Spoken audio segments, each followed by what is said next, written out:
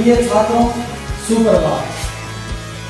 Bachpan and seven star convent school मोला sir की ओर से मैं पवन कुमार जाखड़ ऑनलाइन क्लासेज में आपका हार्दिक स्वागत करता हूँ।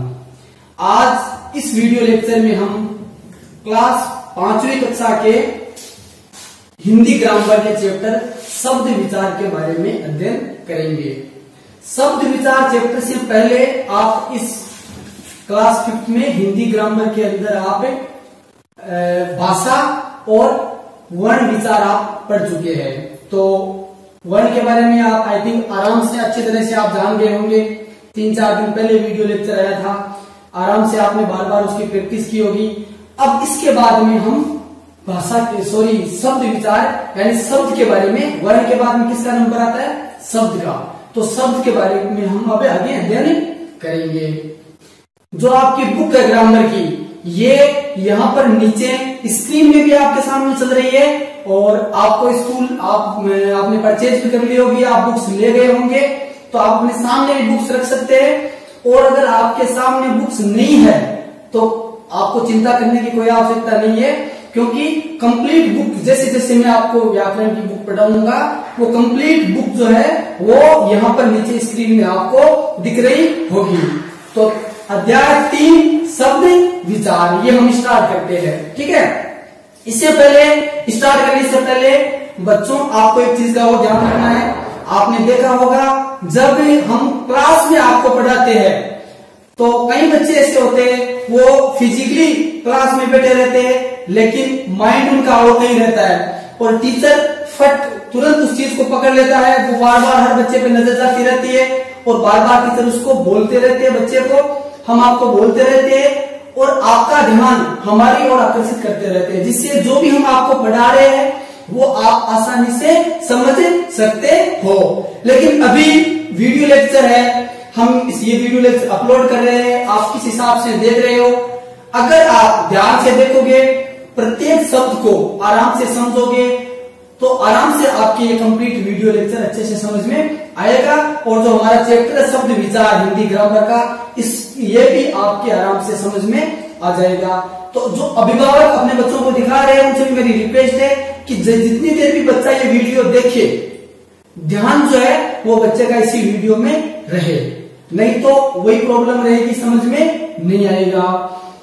सेकेंड चीज़ ये है कि जैसे ही जहाँ पर आपके समझ में नहीं आए कोई भी लाइन तो आप तुरंत उस वीडियो को ब्रेक करो बेक करके वापस देखो उसको। उसके बाद भी अगर समझ में नहीं आया, पूरा वीडियो आपने देख लिया, एक बार कंप्लीटली वीडियो आप देख लो, पूरा वीडियो देख लो, फिर भी अगर कुछ समझ में नहीं आए तो आप उस वीडियो को बार बार दोबारा देखो, तीन बार देखो, और एक अपने पास में नोटबुक रखो, जो वीडियो में एक्सरसाइज आपसे अभ्यास करवाया जा रहा है, उसको अपने हाथ से आप नोटबुक में करो।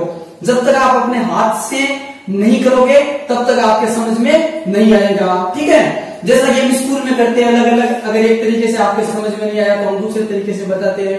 फिर हम आपको बोलते हैं कि बेटा आप लिखो लिख कर इस चीज़ को समझो।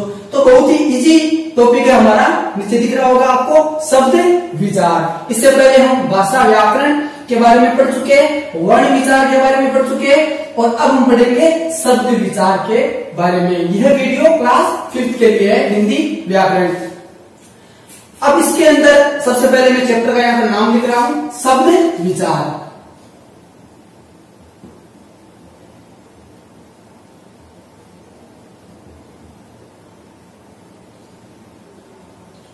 ठीक है?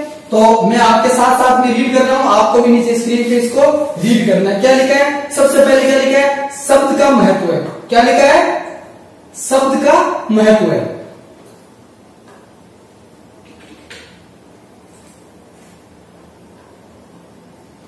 भाषा के निर्माण में शब्दों का महत्वपूर्ण स्थान है।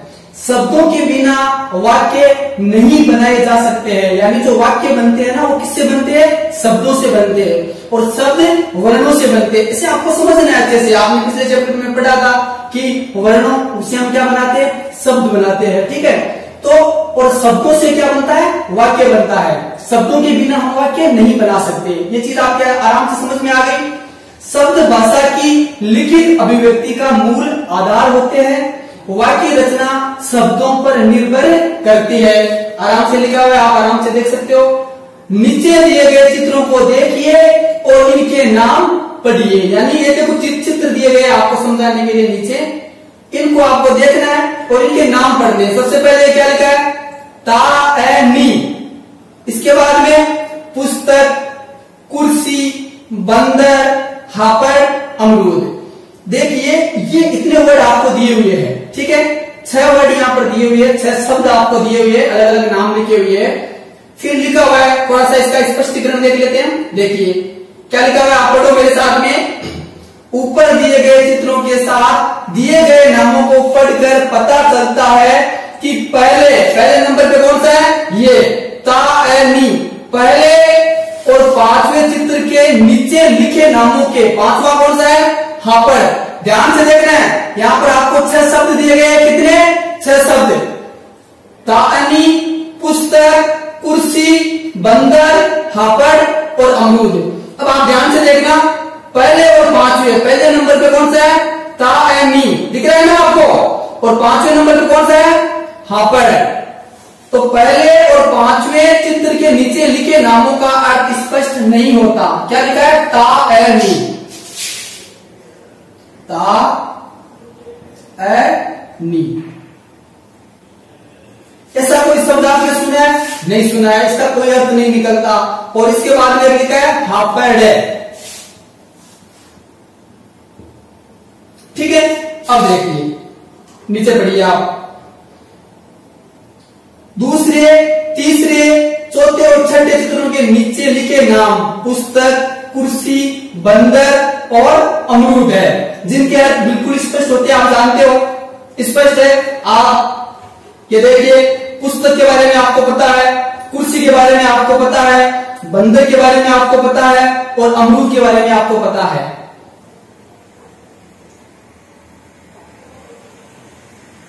ठीक है? अब देखिए, बंदर और अमरूद जिनके स्पष्ट है, यदि हम पहले और पाँचवें शब्द में दिए गए वर्णों का अब इंपॉर्टेंट है, यहाँ पे आपको ध्यान रखना है। क्या ये बुक्स ये चैप्टर हमें क्या समझाना चाहता है? वो अब आ रहा है, ध्यान रखना आप, ठीक है? इनके नीचे चित्र और नाम दोनों स्पष्ट है। हम कह सकते हैं कि शब्द एक से अधिक वर्णों के मिलने से बनते हैं। यानी शब्द कब बनते हैं? अलग अलग जैसे वर्ण हम ये बोलते हैं कि शब्द किससे बनते हैं? शब्द वर्णों से बनते हैं, लेकिन कैसे? ये चीज़ देखिए आप, शब्द एक से अधिक वर्णों से मिलने से बनते हैं, लेकिन इसके लिए वर्णों का क्रम सही होना ज़रूरी है। भले ही वर्ण वर्ण तो आपने एक जगह कर दिए, लेकिन उनका जो कर्म है ना, वो क्या होना चाहिए? बिल्कुल सही होना चाहिए। तब जाके क्या बनेगा? शब्द बनेगा, ठीक है ना? अब देखिए, अगर इनको हम चेंज कर दें, जैसे ये एक आपको लड़की का चित्र दिखाई दे रहा है, ता ऐसा कोई नाम नहीं होता है। तो इसका क्या बन जाएगा? एम नी, और ये ता आपका इधर आ जाएगा। क्या नाम बन गया? अनिता। नीचे पहाड़ का चित्र बना हुआ है। तो देखो ये वर्ण इधर से इधर ले आया ना मैं? इधर से इधर ले आया ना? तो तब क्या बना? अनिता। ये हप्पड़ तो ये हप्पड़ नहीं होता है। पहाड़। क्या होता है? पहाड़।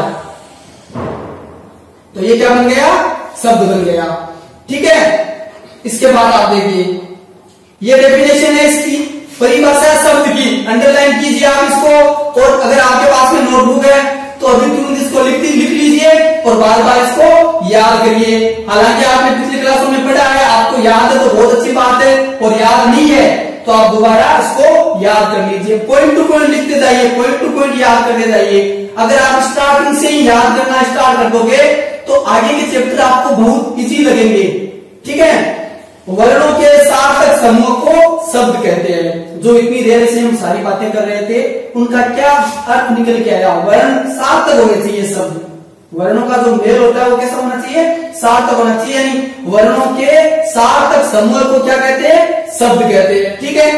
अब इसके उदाहरण देखिए आप। जैसे भारत, मुंबई, भगवान, सुंदर, दिनेश, स्वामी, पवित्र आदि, ठीक है? शब्द और पद, एक छोटी सी चीज़ और है। शब्द क्या है? पद क्या है? वो आप इसमें और देखिए। शब्द और पद। जब कोई शब्द किसी वाक्य में प्रयोग होता है, ध्यान से सुनना। जब कोई शब्द किसी वाक्य में प्रयोग होता है, वह शब्द पद बन जाता है। कोई भी शब्द किसी अगर वाक्य में प्रयोग हो रहा है यह शब्द है अनिता लेकिन इस अनिता शब्द को हम किसी वाक्य में प्रयोग कर रहे हैं। जैसे, अनिता स्कूल जा रही है। तो ये अनिता जो शब्द है। ये शब्द के साथ साथ में पद भी बन जाता है। उदाहरण दिया हुआ है, जैसे, लड़का खाना खाता है।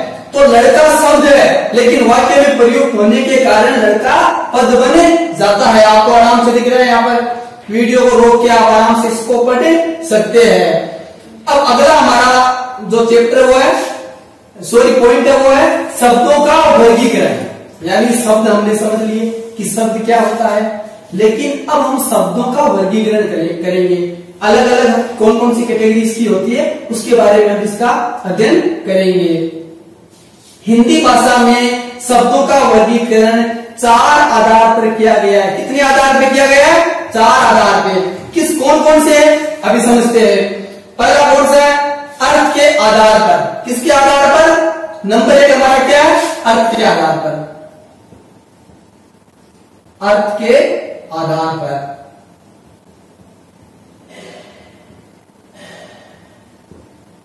किसके आधार पर? अर्थ के आधार पर। अच्छे से याद कर लो, हम क्या पढ़ रहे हैं? शब्दों का वर्गीकरण पढ़ रहे हैं। ये चीज़ आपके माइंड में होनी चाहिए कि एक्चुअली हम पढ़ क्या रहे हैं। हम पढ़ रहे हैं शब्दों का वर्गीकरण। तो अर्थ पहला क्या है? अर्थ के आधार पर। किसके आधार पर? अर्थ के आधार पर। इसके बाद में दूसरा देखते हैं, पहले चारों के नाम देखते हैं, फिर अलग अलग इनके बारे में डिस्कस करेंगे। दूसरा है, बनावट के आधार पर। किसके आधार पर? बनावट के आधार पर। बनावट या रचना के आधार पर। बनावट के आधार पर। ठीक है? इसके बाद में तीसरा क्या है? उत्पत्ति या स्रोत के आधार पर। चौथा क्या है? प्रयोग के आधार पर।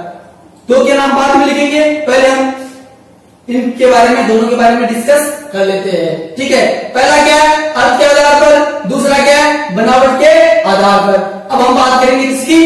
अर्थ के आधार पर। कि अर्थ के आधार पर शब्द क्या बनते हैं, इसके बारे में पढ़ेंगे। ये देखिए। अर्थ के आधार पर शब्द भेद। अब अर्थ के आधार पर कितने प्रकार के होते हैं कौन कौन से होते हैं, कैसे होते हैं, उसके बारे में पढ़ते हैं। अर्थ के आधार पर शब्द के दो भेद होते हैं। देखो, शब्द का ज्ञान करना। शब्द विचार हम पढ़ रहे हैं। शब्द के बारे में हमने पढ़ा। शब्द के बारे में पढ़ने के बाद हमने क्या पढ़ा? शब्दों का हम वर्गीकरण कर रहे हैं और उसमें हमारा पहला पॉइंट क्या है? हमने कहा सब चार वर्गीकरण है। पहला क्या था? अर्थ के आधार पर। अब अर्थ के आधार पर इसके अंदर और ये दो प्रकार से होता है। कितने प्रकार से? दो प्रकार से। कौन कौन से? एक है आपका सार्थक शब्द। इसमें मैं कै बना लेता हूँ। कै क्या है? सार्थक शब्द ध्यान से समझना है आपको। कै क्या है? सार्थक शब्द और ख क्या है? निरर्थक शब्द है।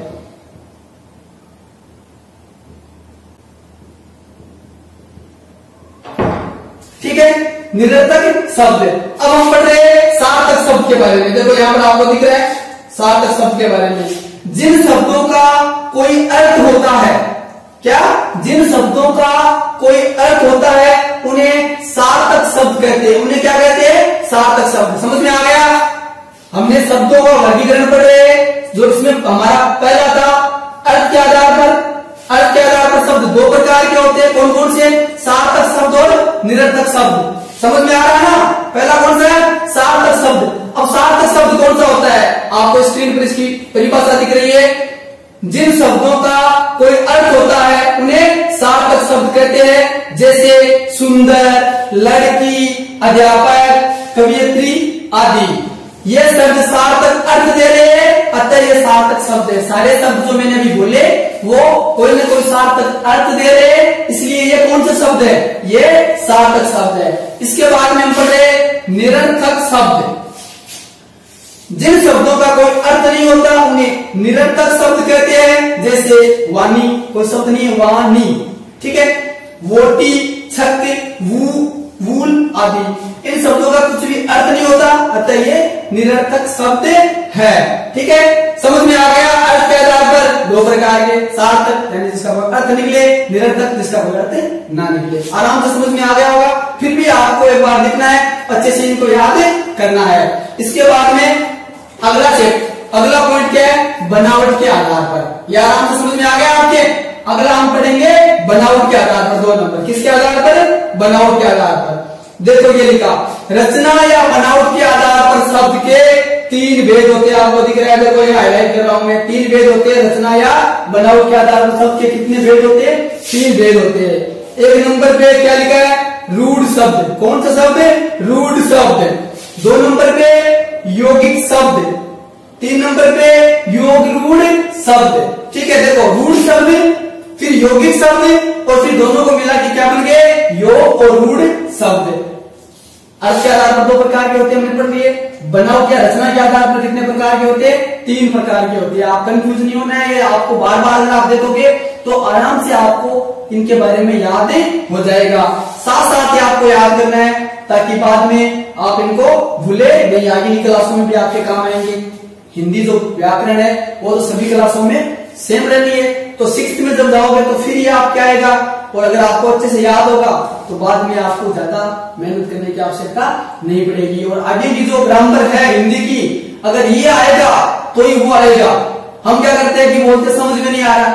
क्यों नहीं समझ में आ रहा? क्योंकि हम जो पढ़ रहे हैं, उससे पहले का हमें नहीं आ रहा है। इसलिए हमारे समझ में नहीं आ रहा। कई बार टीचर बहुत अच्छा पढ़ाते हैं।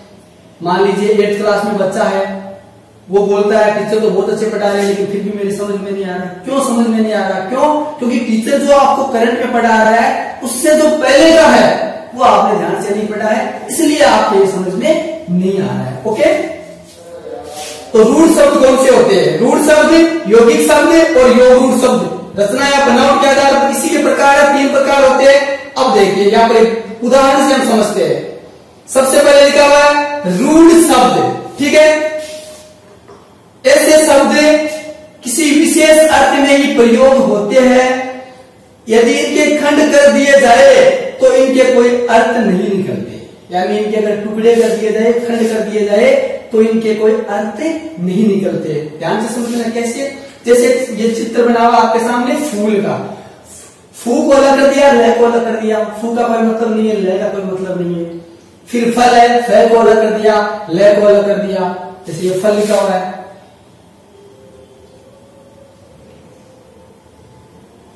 अब मैं फै को अलग लिख रहा हूँ और लय को अलग लिख रहा हूँ। इसका कोई अर्थ नहीं निकल रहा है इसका कोई अर्थ नहीं निकल रहा। है तो ऐसे शब्द, रूढ़ शब्द कहलाते हैं, ठीक है? इसके बाद में दवा, कोई अलग अलग शब्द तो कोई अर्थ नहीं निकल रहा है। कलम कह फिर लय फिर मैं, कोई अर्थ नहीं निकल रहा है। यानी ऐसे शब्द जिनके अगर आप खंड करो तो उनका कोई अर्थ नहीं निकले। ये शब्द क्या कहलाते हैं? रूढ़ शब्द कहलाते हैं। फिर मैं आपको बताना चाहूँगा, रचना या बनावट के आधार पर सेकंड तो हमारा, हमने शब्द विचार पढ़ रहे हैं। शब्द विचार के अंदर हमने क्या किया है? वर्गीकरण किया है। पहला हमारा था अर्थ के आधार पर। दो प्रकार के हमने पढ़े, सार्थक और निरर्थक। इसके बाद में बनावट के आधार पर, बनावट के आधार पर हमने तीन प्रकार बताए पहला हम पढ़ चुके हैं, रूढ़ शब्द। इसके बाद में दूसरा कौन सा है? यौगिक शब्द। कौन से शब्द? है यौगिक शब्द। इसकी परिभाषा देखिए। ये शब्द दो शब्दों के मेल से बने हैं। इनमें प्रत्येक शब्द का अपना अर्थ होता है। यानी ये भी दो शब्द से मिलकर बने होते हैं। लेकिन जो दो खंड है, उनका प्रत्येक शब्द का जो खंड भी है, उस खंड का अपने आप में कोई ना कोई अर्थ होता है। ये शब्द यौगिक शब्द कहलाते हैं। उदाहरण के लिए हिमालय। हिमालय हिम प्लस आलय, ये देखिए। हिम धर्म आलय। हिम और आलय से क्या बना है हिमालय। तो हिम का भी अपना अर्थ है, आलय का भी अपना अर्थ है। तो दो खंड बने, दोनों के अलग अर्थ निकल रहे हैं। तो ये कौन से शब्द हुए आपके यौगिक शब्द कहलाते हैं? इसके बाद में विद्यालय, विद्या, धन, आलय। विद्या का भी अर्थ निकलता है, आलय का भी अर्थ निकलता है। इसके बाद में कौन सा है? विद्या प्लस, यानी धन, अर्थी। तो विद्या का भी अर्थ निकलता है, अर्थ का भी अर्थ निकलता है। इसके बाद में तीसरा देखिए इसके अंदर गए योग रूढ़ शब्द। मिलता जुलता है उसमें दशानंद शब्द, दो शब्द को ये दशानंद शब्द बना यहाँ पर दशानंद, रावण के लिए प्रयोग किया जाता है दशानंद शब्द। तो दशानंद शब्द दो शब्दों के योग से बना है, दस और आनंद। दस का भी अर्थ निकल रहा है, आनंद का भी अर्थ निकल रहा है। लेकिन ये विशेष अर्थ रावण को व्यक्त करने के लिए यूज़ हुआ है, प्रयोग हुआ है तो ये रूढ़ हो गया है। इसी प्रकार चार बाई भी दो शब्दों के योग से बना है। किंतु ये खटिया के अर्थ को व्यक्त करने से रूढ़ हो गया है। अतः ऐसे शब्द योग रूप शब्द कहलाते हैं। थोड़ा सा अगर आप देख करके इनको देखोगे, आराम से वीडियो को रोक के देखोगे, इस लाइनों को बार बार पढ़ोगे आराम से आपके लिए अच्छे से समझ में आ जाएगा। जब भी आप कंफ्यूज होते हो, जहाँ आपके समझ में नहीं आता है, उन लाइनों को, उन किताबों की लाइनों को आप बार बार पढ़ो, उसी से आपको उसका उत्तर मिल जाता है। ठीक है? तो अर्थ के आधार पर हमने कंप्लीट कर लिया, बनावट के आधार पर कंप्लीट कर लिया। दो पॉइंट आपके आराम से समझ में आ गए। बाकी के जो पॉइंट है, वो हम कल के वीडियो लेक्चर में बात करेंगे। Thank you